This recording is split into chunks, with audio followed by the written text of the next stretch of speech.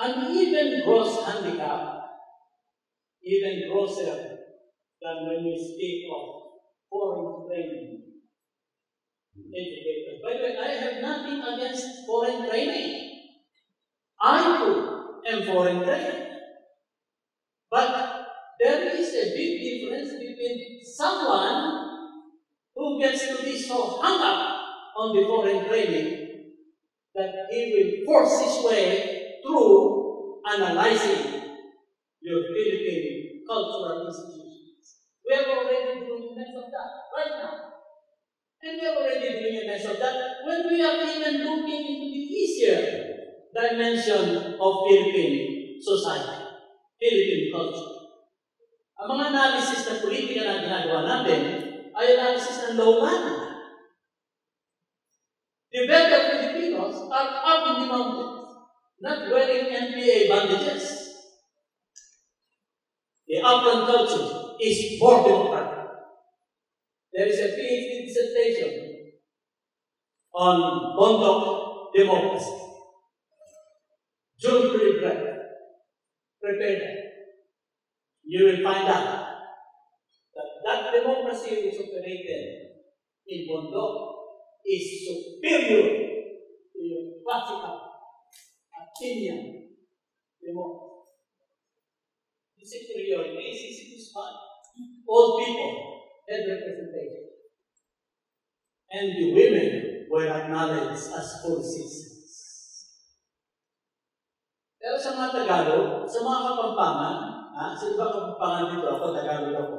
Sa mga Tagalog, sa mga Kapampangan, wala yung virtue na yan.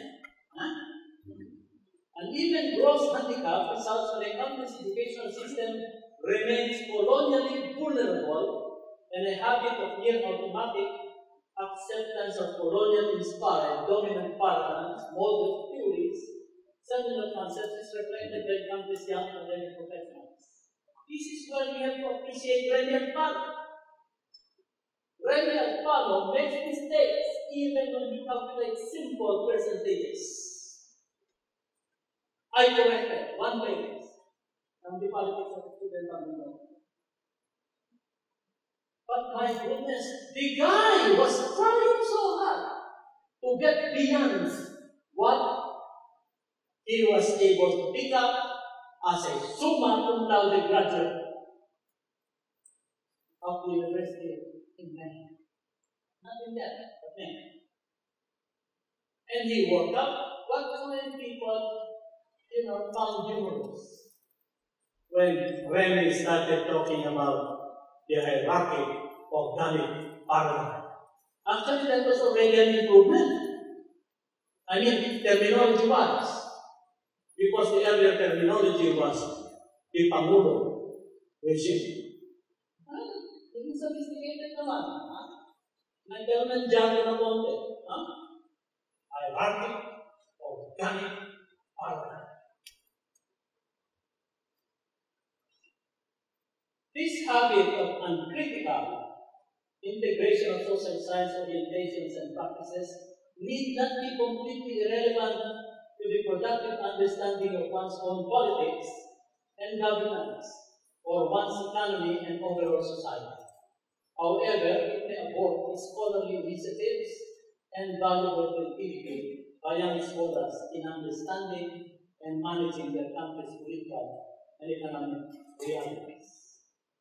Until recently, before the establishment of public opinion barometers in Latin America, Africa, and Asia, a controlling database of professional public opinion, the controlling database, was basically North American and Western European. And so, pag sinabi mong this thing won't work, ang basic is the kind of professional literature limited to the part of world. Your double barrel question is a no-no in survey question design. On the basis of that, is Western literature, Western public opinion. We have to run tests Even on the things that we suspect to be valid. Valid sa kanila, pero valid din sa atin. Testingin natin. In putting up testable question, Paul says here, I had the great luxury of being able to test at least 20 to 30 times. Every time.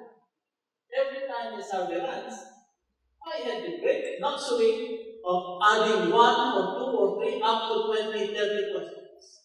Every question, by way, was about 50,000 dollars. Even for the politicians. Run it! And then be surprised by the results. Filipinos and other Asians do not think only analytically. They think synthetically. Yung double barrel can be used can used. You don't have to ask separate questions like, um, Bano pag-asang basa You have it up. Then follow up with another question. The other question is, kung maaari lang, nalayas na, alis na. I tried integration before. Integration came out wala na talagang pag-asa ang bansa nito. Kung maaari lang, ay, alis na. Then, frequencies. There is no significant difference. Not statistically, not even marginally. You can ask it that way. But you have to provide for what you are asserting. Another issue. Imagine symbols of national identity. This is the world's most sophisticated methodological group where public opinion polling is concerned. Yan ang ISSP. I hope that uh, Alico and uh, other members of the department will be able to find their way into this group. I hope will there after one hour, people said, My head is ill. And the reason for that is it might take them as much as two hours to analyze one question. In this particular case, the question being looked into is ano simple sa national identity? O madali naman na lang. Islam. A symbol of national identity. A national anthem. Sure. Oh, baseball. Okay naman na na. But when I suggested, how about contests? Then my good friend Peter, a first class sociologist, said, Philip, are you serious? I said, yes, I am. I still remember I said, I said, who the first Miss Universe of Japan? I remember the first Miss Universe ng Thailand. I remember the first Miss Universe na natokhan natin. Tinokhan natin dahil kasi we were riding not in tandem, but we were riding the fantastic Jaguar. Army Pusela Ilada ay napangasawa ng Virgilio Ilada sapagkat may Jaguar si Virgilio Ilada.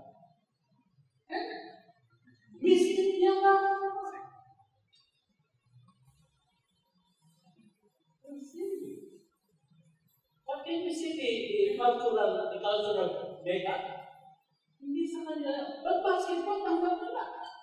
Baseball. Categories have a cultural context. H2O does not. AU does not. Konsepto, mga elemento ng natural sciences are not so vulnerable doon sa ating mga mga not as vulnerable as sa ating mga social and cultural concepts. Beyond the basic but vital concern with rigorous and timely conceptualization, our young professionals needs to acknowledge a powerful reality in 21st century social science studies. I invited a report to come here. Here? Good. But this part do with you. Beyond the basic but vital concern of rigorous time conceptualization, our young professional needs to acknowledge a powerful reality in 21st century social science studies. That is to say, the extremely rapid generation and build-up of data relevant to any field, nay, even any favorite topic of academic thinking. The rise of computers with exponentially faster microprocessors, increasingly formidable artificial intelligence hardware and software. Other recent developments in information technology has already given rise to massive amounts of data. We're not talking here of gigabytes. We're talking terabytes and soon enough petabytes. Your cloud will not be able to convey what the database of the next five to ten years will decide unless the cloud itself expands. Recent developments in information technology has already realized the massive amounts of data automatically generated, even at times summarily configured and processed for social science.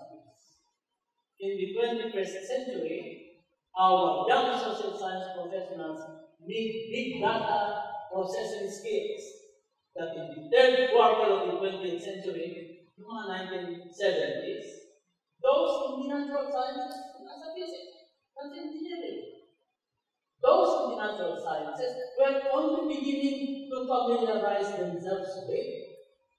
Tayo na sa social sciences. Mathematical modeling and advanced statistical analysis would be imperative, unavoidable skills for those who work successfully with big databases we now have and even bigger ones that we need to use. Ang public data is supposed to be massive. That is really not all that massive.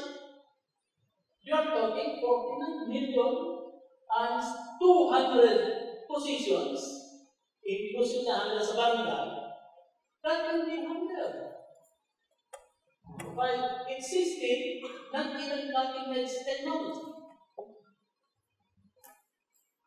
Big data processing skills must include capabilities for creative manipulation of existing data. I was telling you about this uh, imaginative reconfiguration of now currently configured data is one of the most exciting challenges that face our young professionals. Even now, some of the most sounding recently critical publications by our most popular scholar writers, for example, Thomas Piketty and Arthur Goldhammer in Capital in the 21st Century, this is another dated book after 2014, uh, amended in 79, result from the imaginative reconfiguring of already available data sets. Nireconfigure na, nandyan na. Can you imagine what with public data? Huh? And not only public data, data ng PSA. Every 10 years, nagsasalit tayo. Every 5 years, meron tayong family income expenditure surveys. Yung data na yan, nag-build up ako Nandun na. All you have to do is design, reconfigure what is already In the Philippines, one looks forward to a now young political scientist, Senator reconfiguring massive public data and making more credible analysis than all public lawyers have done today. Beyond the quantity and the speed of data build-up, one needs to sound the caveat regarding the need for appropriate and timely data on society's most sensitive concerns. Ito ang contribution ng SWS. Ito ang signature project MAHA, yung poverty statistics. That it can be delivered every quarter rather than once every five days, once every ten days. You should be able to do that for a life father. I wrote a chapter in some book regarding the democratization of social science data.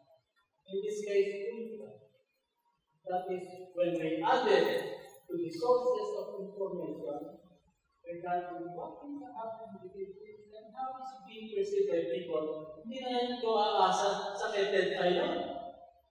Hindi ka naasa. Eh, more pleasant looking at parang yung alin, dalawang alin mo maganda. Ha?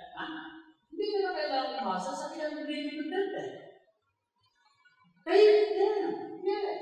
Hindi ka na maaaring, hindi ka na dapat nakakasa ka lang sa kentesa. Okay na. Now, you can go around and ask the people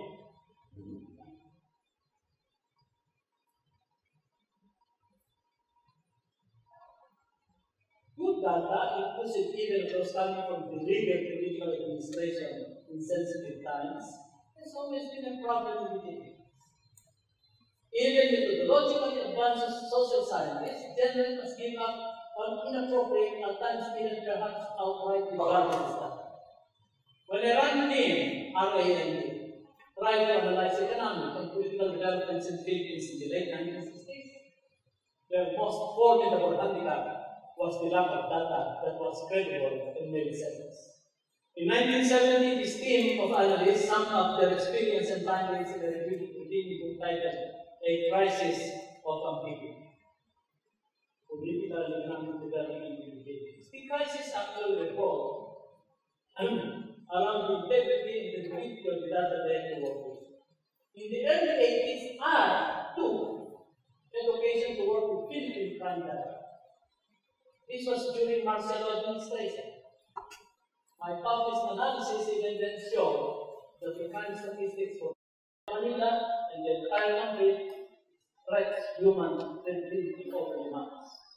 Good data is not easy to generate or discover in country like ours, whether it's Marcelo or not, whether it's Marcelo or not. There are many other points that the lecture of political sciences education can touch on.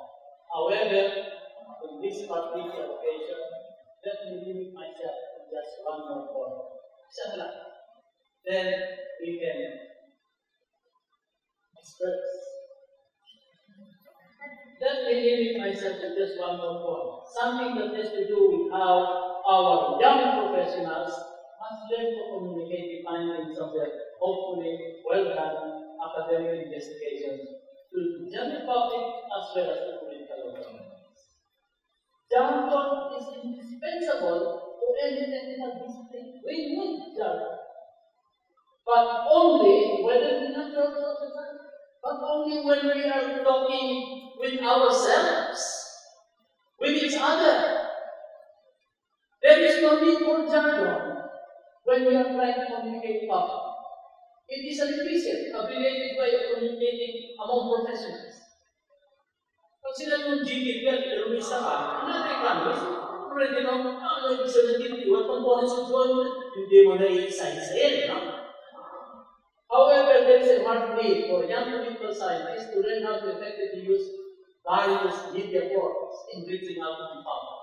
I'm not talking just Facebook or Twitter. Science, natural as well as social, and most critically that which is markedly in the realm of politics, need to be clearly, quickly comprehended by its ultimate audience. Guess who that is? The. In political life, that is clearly the general public. Jargon needs to be supplanted by language that makes the results of a study easily comprehensible. When we discuss federalism, and the forum is a public forum, and you are on television, make sure that you use the simplest language possible. Otherwise, the young political scientists would certainly fall short of the educational objective, that is to say, facilitating the development of a politically aware, knowledgeable system with a new process. contributing to the process of democratization. I have two more pages. Now, one. Uh, I shall with a final one. That is what it says here.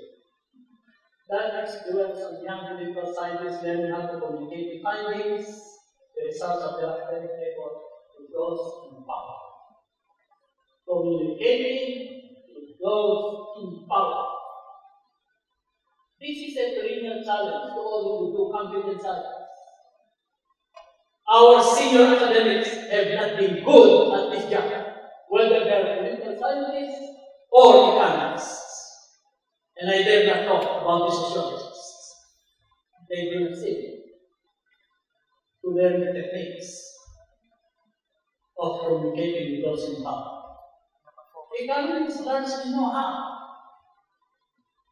They say on one hand, and then noticing the expressions on the face of those in power, they immediately say, on the other hand, so you have a two-handed approach.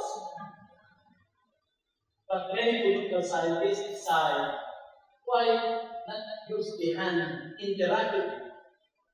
And so when they make presentations, they find. We become handmaidens and majordomos of those in political power. This is a perennial challenge to all who and try to discover or unearth of the truth behind or underlying trends of oligarchic interests.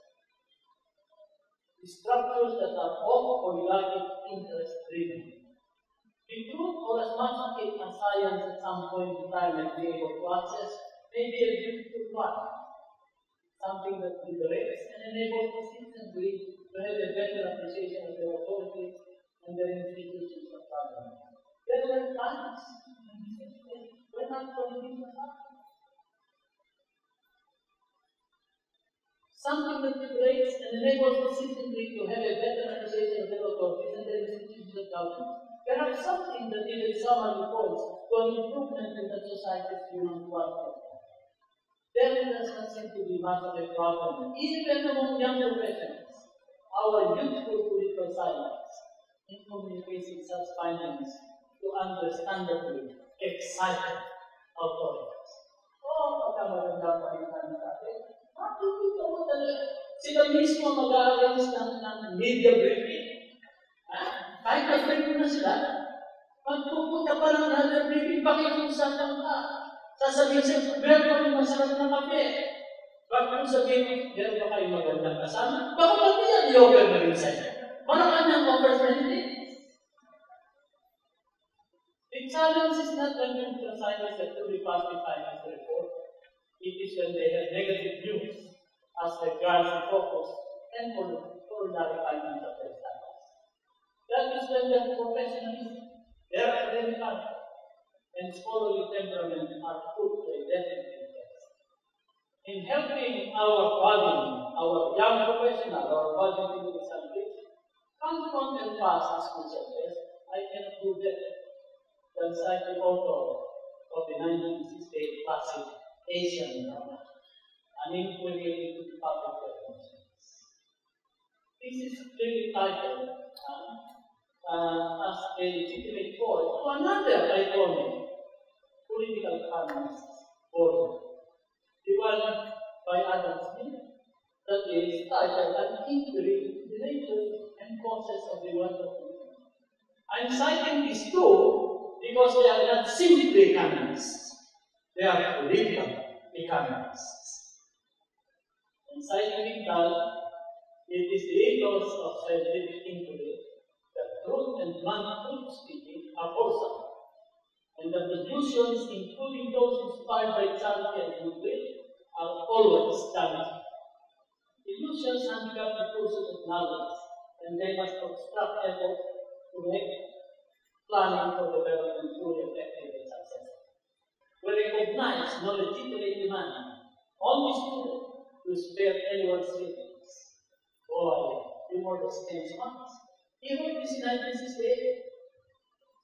In the United States, right now, one of the more controversial items is what happened in a college called Middle, uh, Middle College, Middle, uh, Middle Broad College, when the students demanded that a speaker, a sociologist, actually, you might have encountered it, he wrote the.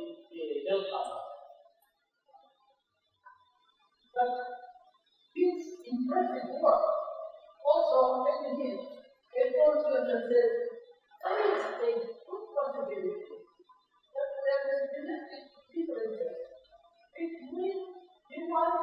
and the the States. They were white. And so, estudyante ay nire-reject itong tao nito. Hindi na dapat accept. Beautifully requested at the university. And one public official, Mayor Yaka said, universities are not designed to make it uncomfortable.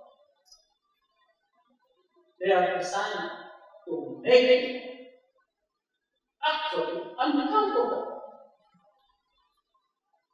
To make it to make it cry and about the different I think due to the demand, we they already passed. The so-called fifty reform. I think our students demand comfort, and I think most of us provide the comfort. So we are becoming a comfort community. Meetings.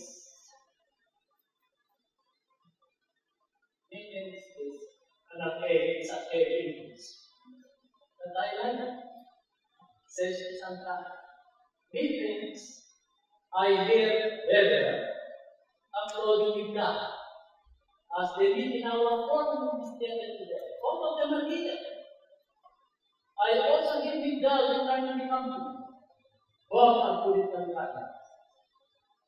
Perhaps the very title that our young political science of the future looks similar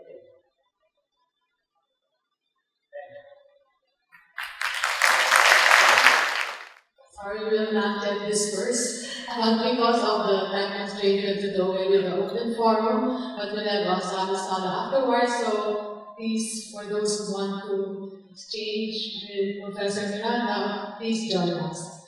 But on this, on this note, uh, may I now please ask the Board of Directors of the Philippine Political Science Association for the awarding of the plaque.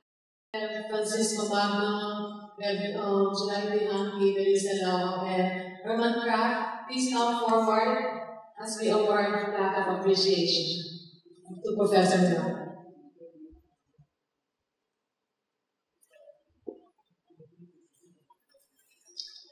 We would like to call Professor Felipe Miranda to accept uh, this Distinguished Leadership Award for his outstanding contributions in the field of political science.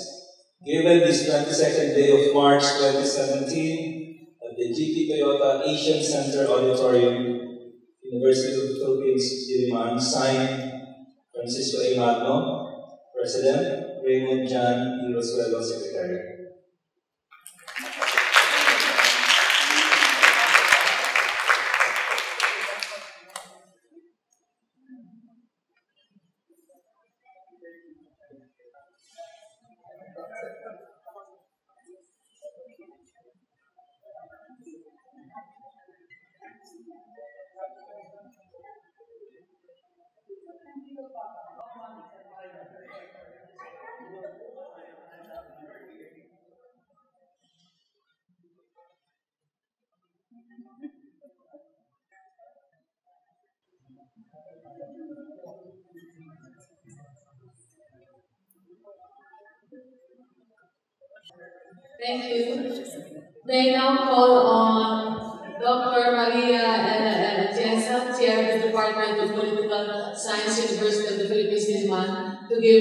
Closing remarks. Thank you, Tessa. This will be very quick because most of the students have left for their 4 o'clock class. Okay, uh, I was hoping that they would uh, stay for some of the comments as well as the food. But anyway, uh, this will just be a list of um, acknowledgements, of course. Uh, we thank our speaker for this afternoon, Professor Felipe B. Miranda. For those of you who had Professor Miranda as a teacher, as a colleague, maybe mentor or friend, uh, of course, you know that Professor Miranda will always be provocative, challenging in whatever setting, whether it's a lecture like this, or let's say we're just uh, in the corridors of the or we're having lunch or coffee. Then, of course, uh, I would like to congratulate the Philippine Political Science Association, particularly the Board of Trustees, for the second in a series of uh, distinguished leadership uh, uh, lecture series. And as uh, uh, PPSA President, Professor uh, Francisco Magno mentioned, there are already a number of other activities lined up for uh, uh, for next month, and of course we will have the, international conference in May in Cebu. And of course, we are so glad that some of our colleagues who are about to come all the way from PAF and of course our neighbors in Katipunan uh, are here to join us. At the same time, for our colleagues who were unable to join us, course, they can check the, the Facebook page of uh, PPSA for the for the video, but uh, UP Diliman Interactive Learning Center is also recording this uh, lecture, this event. They will be uploading an edited uh, professional version of the lecture, and our students can also look at this uh, lecture. And for our classes, if you want to play the lecture of Professor Miranda for our students. Of course, I have to thank my colleagues in the UP Department of uh, Political Science for coming here, for recommending uh, their classes to attend this uh, lecture of Professor Miranda. And uh, I cannot forget to thank the administrative staff the Department of Political Science, as well as the UP Diliman Interactive Learning Center for all the administrative support and also for the technical staff of uh, Asian Center for uh, this particular lecture. Uh, most of the students have left, but I think uh, what an important, uh, Professor Miranda mentioned three important challenges for uh, not only young, current uh, political scientists, but future political scientists. One is, of course, uh, to be rigorous and timely in terms of conceptualization. Second, uh, learn how to manage the rise of uh, big data. And of course, number three, we should also learn to communicate not only with the general public, but also we should also be able to talk to power, whether our research findings are comfortable or not. Is part of our responsibility. So good afternoon. I hope that uh, you will continue to support the work of the Philippine Political Science Association and I invite you to some merienda. Thank you very much.